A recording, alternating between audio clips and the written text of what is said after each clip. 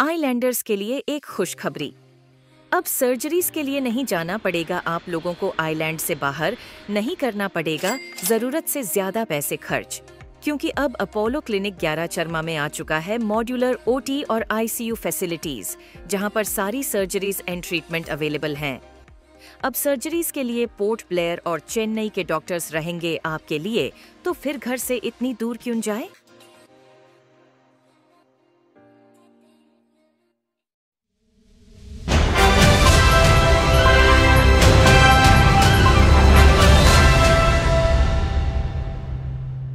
नमस्कार अदाब सत श्रीकाल। सलामकुम मैं अब्दुल मजीद मजू हिंदुस्तानी। पिछला जो वार्ड नंबर चार का जो काउंसलर और सैनिटरी वर्कर के बीच में जो झड़प हुआ था, उसका नया अपडेट ये है कि दोनों के बीच में सलाह मशरा चेयरपर्सन ने अपने रूम में बुला के कुछ काउंसलर साहब लोग बैठे थे।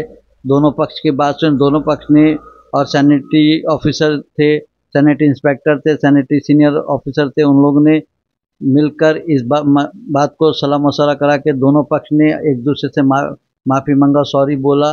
और अब ये मामला को हम लोग यहीं कर क्योंकि हमारा पक्ष है दोनों पक्ष के बात को रखना है।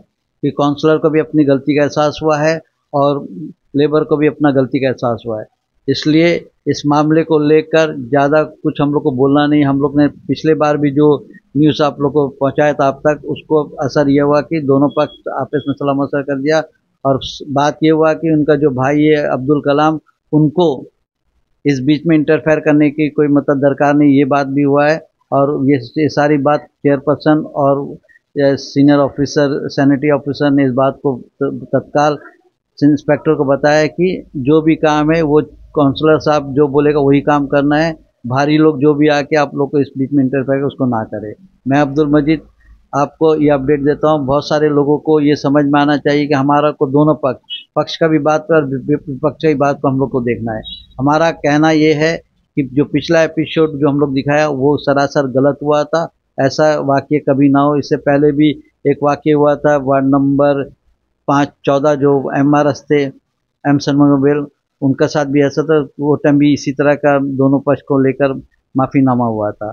तो मैं अब्दुल मजीद अपने दोनों पक्ष को बोलना चाहता हूँ कि सैनिटरी वर्कर जो हम दिनचर्या के साथ में अपना मेहनत करता, मजदूरी करता, अपना काम करता है और काउंसलर की ज़िम्मेदारी होता है, वो वार्ड के अंदर में जो काम है उनके ऊपर देखा जाए, भारी लोगों का बात सुनकर उनको तत्काल इसमें इन्वॉल्वमेंट ना किया ताकि सैनिटरी का वर्कर्स का भी इज़्ज़त बचा रहेगा और काउंसलर साहब का भी इज़्ज़त बचा रहेगा।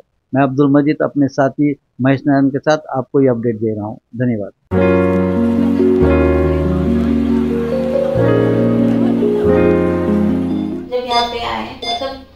चीज़ का कैरिंग है इवन जो भी रिस्पांस पूछते हैं फ़ोन में फ़ोन कॉल करते हैं तो बराबर प्रॉम्प्ट रिप्लाई आता है और बराबर ज़्यादा से टेस्ट का रिपोर्ट जो है व्हाट्सएप में आ जाता है।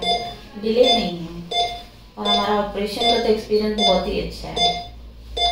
कैरिंग ये सब? स्टाफ से लेके डॉक्टर से लेके सब।